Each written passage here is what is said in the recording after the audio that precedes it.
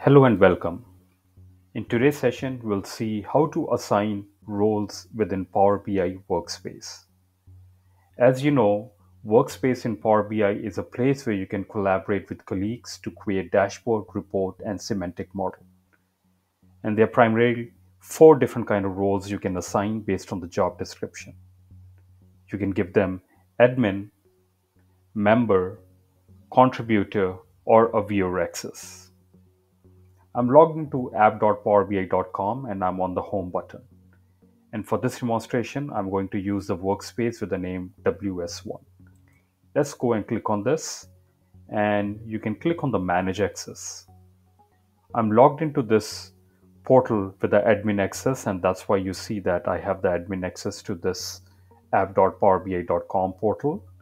If you want to give access to anybody in your tenant, you can go and add people, search for them. In this case, I'm going to give access to user one, and this person will have contributor access. And you can go through the documentation on what are the different roles or what allows them to do. But user one will have contributor access, and you just click on the add button the user was added successfully.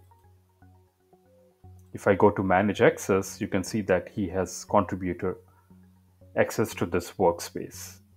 If you want, you can, as an admin, go and remove the access to.